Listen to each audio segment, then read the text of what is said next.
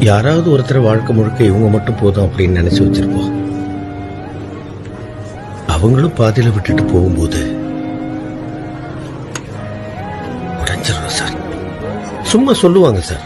நல்லதே செய் நல்லதே நடக்கும். நேர்மையா இருந்தா ஊரே உன்னை புகழும். எல்லாம் சுத்த போய். அதை முத முதல்ல சொன்னவன் மட்டும் என் கையில கிடைச்சான் அவனை செருப்பாலே அடிப்பேன் சார்.